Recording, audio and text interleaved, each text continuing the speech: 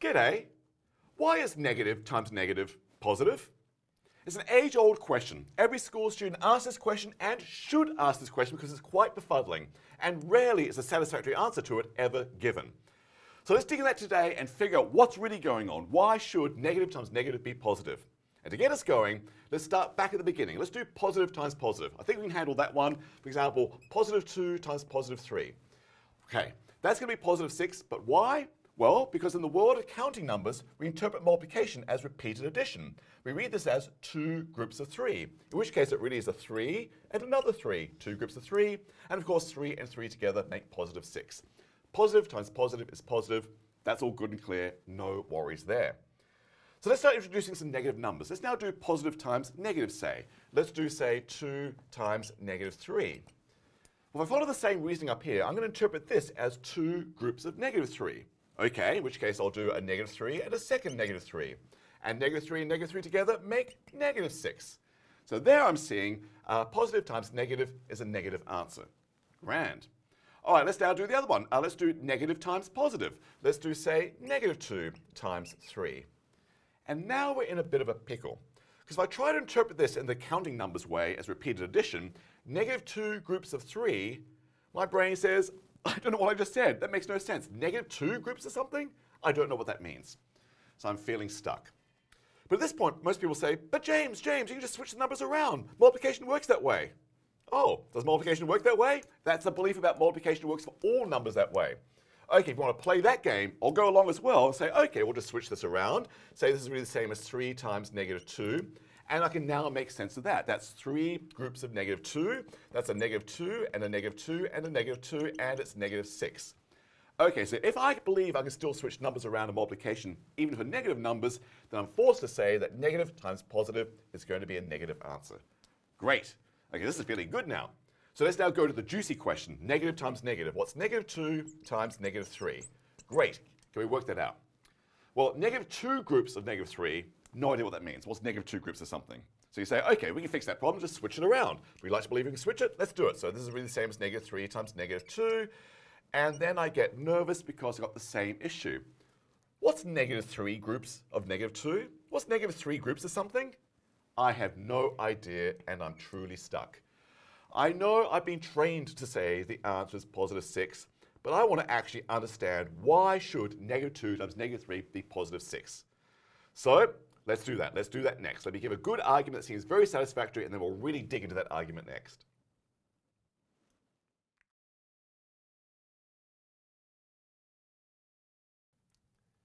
Okay, let's even come up with a reason why mathematics wants negative 2 times negative 3 to be positive 6. And I'm going to do that in sort of a sideways way. I'm going to work out this multiplication problem, 17 times 18 instead. But I'm going to do it four different ways. Crazy. Uh, the first way, the first way is going to be a standard way. 17 times 18, to me, that's actually uh, figuring out a geometry problem. If I have a rectangle that's 17 units long and 18 units high, then I'm really asking in this multiplication problem, what's the area of this rectangle?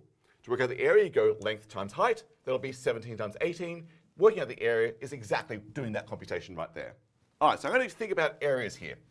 All right, so I'm looking down and want to work out the area of that rectangle, but me being a mathematician, I look at this and say, ick, ick, I don't like those numbers. I don't like hard work. Can I make those numbers easier and kinder to myself? And my brain says, yes, perhaps think of 17 as a 10 and a 7. So let's chop this rectangle length into 10 units and 7 units and chop the rectangle two pieces like that.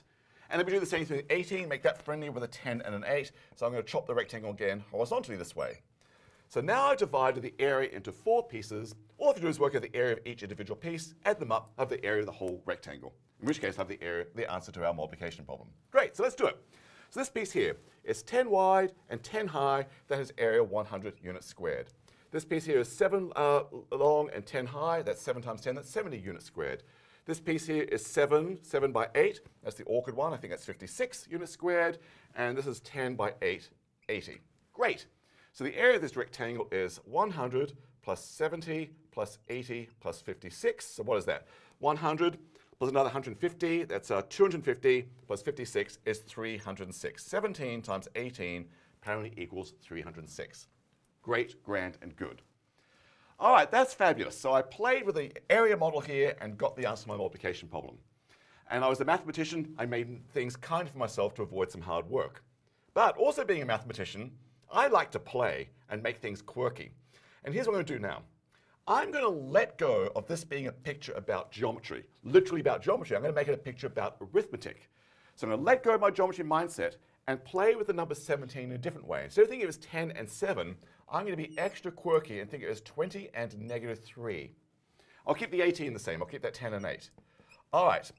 So this is not a picture from geometry. You cannot have negative side lengths in geometry. You can have negative areas in geometry. So do not think of this as a statement about geometry, but do think about a statement it is a statement of arithmetic. And let's see if the arithmetic is still working out. So here's the statement of arithmetic. Let's work out individual pieces. 20 times 10 is 200. Uh, negative 3 times 10, or 10 times negative 3. We're okay with that, positive times negative. That's, that's 10 groups of negative 3, and that's going to be negative 30. That one we're okay with. Uh, 20 times 8 is 160, and uh, 8 groups of negative 3, I believe, is negative 24. Let's now add up these pieces. I've got 200, and another 160. That's 360. Take away 30, 330. Take away 24, 330 take away 24 is 306. So yes, this picture, not a picture of geometry, but a picture of arithmetic, is giving me the right answer. It is truth in arithmetic. Love it. Okay, so let's keep playing. Rather be quirky with the 17, I'll keep that one the same this time, but this time I'll be quirky with the 18. Think of that as 20 and negative 2. Do I get 306 again? Do you know what? I bet I do. Let's check it. Uh, this piece is going to be 10 times 20, 200. 7 times 20, 140. This is lovely. 10 times negative 2. 10 groups of negative 2 is negative 20. We can handle that. And 7 groups of negative 2 is negative 14. And what have we got? Uh, 200, 340, take away 20, 320, take away 14, 306. All right. So yes, these pictures are speaking truth in arithmetic. They're a bit weird if you've got your geometry brain on, but as arithmetic pictures, the information here is fabulous. So 17 times 18 is 306. It's 306, 306. The answer is going to be 306. Because you can guess what I want to do now. I want to be quirky with both numbers, both the 17 and the 18. Let's think of 17 as 20 and negative 3. Let's think of 18 as 20 and negative 2. And then I can do my individual pieces. This piece will be 20 times 20, that's 400. This piece is 20 groups of negative 3, that's negative 60. This piece is uh, 20 groups of negative 2, negative 40. And the reason why I like this, because this now gives us our very problem to work out. Negative 2 times negative 3. We don't know what that is. I know I've been trained to say positive 6, but let's see what the arithmetic is forcing us to say. What does the math want negative 2 times negative 3 to be? It wants that, num that some number there to give the answer 306. And if you look at this, what we've got so far is we've got 400, we've got minus 100, that's 300, but the answer is meant to be 306. We've got no choice but to say that has to be positive 6 in that cell right there. Negative 2 times negative 3 has to be positive 6. Math wants that to be the case. Negative times negative to be positive. In this case, negative 2 times negative 3 has to be positive 6. There it is. But let's really deep dive into this, into what's going on here. What's really happening? Let's explore what's really happening. We'll do that next.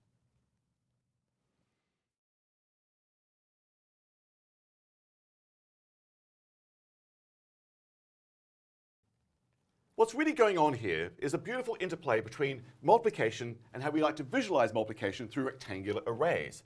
For example, here's a picture of 6 times 8, 6 groups of 8. And I've drawn a group of 8, another group of 8, 6 groups of 8 as horizontal rows to get a rectangular array of dots to show 6 times 8, and there are 48 dots in that picture. Okay, grand, that's good. So there's a lovely picture of 6 times 8. But then I can play with this picture. For example, I could actually chop this rectangle into two pieces like that and say, oh, oh, it's really a picture of 6 by 5 together with 6 by 3. So I could say, okay, this has to be 6 by 5 plus 6 by 3. Okay. Or if I want to chop my rectangle a different way, maybe chop it horizontally this time, and think of the 6 as really 4 and 2, I can say, oh, these 48 dots are really as well this piece, which is 4 by 5, and this piece, which is 4 by 3, and this piece, which is 2 by 5, and this piece, which is 2 by 3. And I can keep going. Maybe I want to chop again. I want to chop again. I could chop this rectangle as many pieces as I like and say, okay, the total area, this total region of that rectangle is actually all these individual pieces added together. Now you caught me just then. I almost said the word area because most people think of this as the area model. Instead of drawing dots, draw unit squares. Okay, squares of area 1, in which case, yes, this uh, 6 by 8 really would be the area of this rectangle. So I'm not going to stop draw all these rectangles here. But there we go. You could actually say this is a picture of unit squares instead of dots and say this is really about geometric area instead. All right, great. Well, the danger of that is it's really about geometric area. That means you've got a geometric mindset going on. But you want to loosen this. So here's the belief. Here's the belief.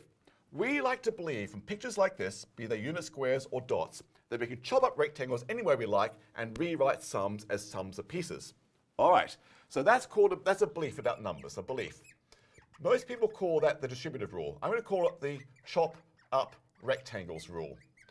And the reason I'm being a little coy there is because school books only ever state one version of the distributive rule. You've probably seen this.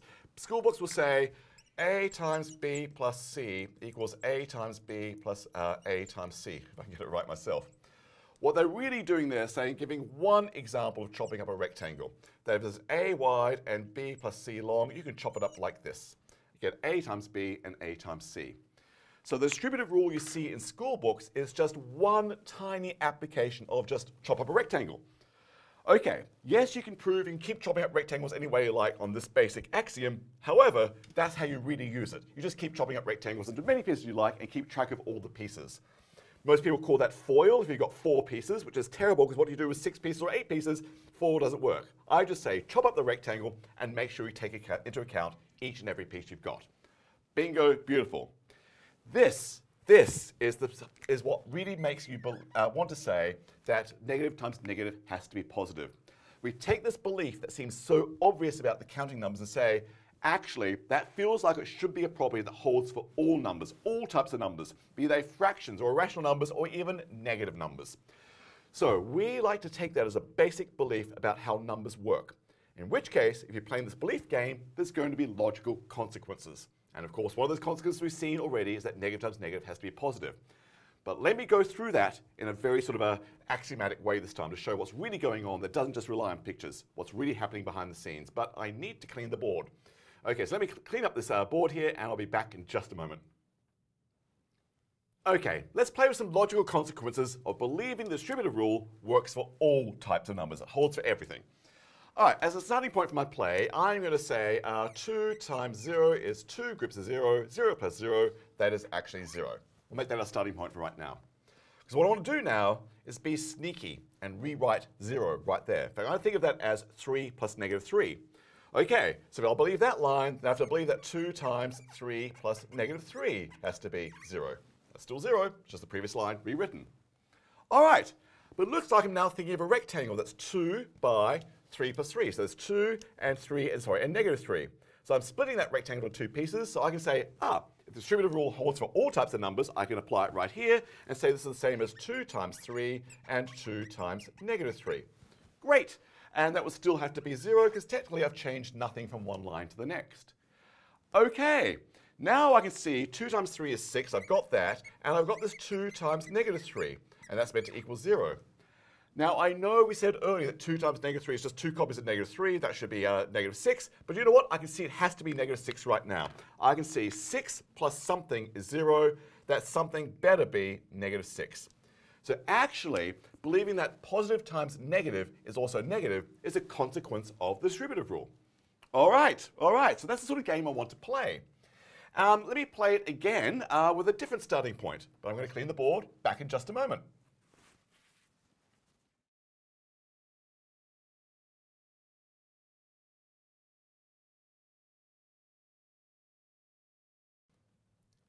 All right, let's now play with this statement.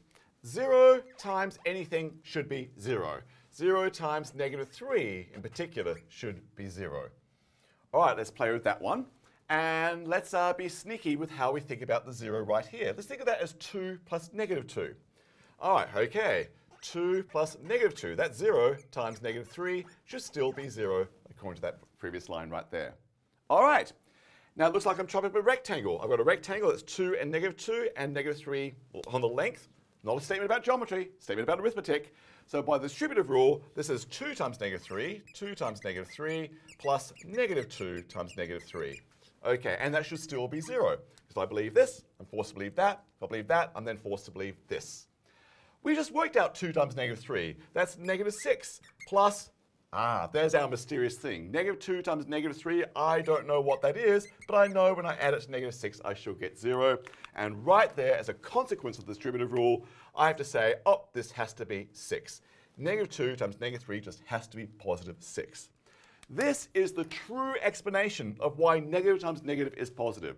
It really is a logical consequence of believing that we can chop up rectangles no matter what. The pictures we draw hold for all types of numbers, even if we're not thinking about geometry anymore, all types of numbers, in which case the distributive rule is holding. One of the logical consequences is that negative 2 times negative 3 has to be positive 6. In fact, negative times negative always has to be positive. Do this more abstractly, you can see that's the case. Whoa! So now you can see why young students aren't really told the true reason why negative times negative is positive. We come with all these little arguments about, you know, soldiers walking on number lines and walking backwards as they change directions or watching films backwards as you, of trains moving backwards as well. I, I don't know. There's all sorts of things out there trying to explain why negative times negative must be positive. But the true answer is this. It's a logical consequence of a basic belief about numbers. And why should we believe it in the first place? We don't have to. It's a choice we've made. And it seems to all hang together and work beautifully, beautifully and mimic the real world when these, these, these uh, arguments actually have application to a real world scenario. That's the beauty and the wonderful mystery of mathematics. We might say we're just choosing to believe these things, but our beliefs seem to actually model the real world so beautifully well when it's appropriate to use that model. Gotta love math. This is amazing stuff.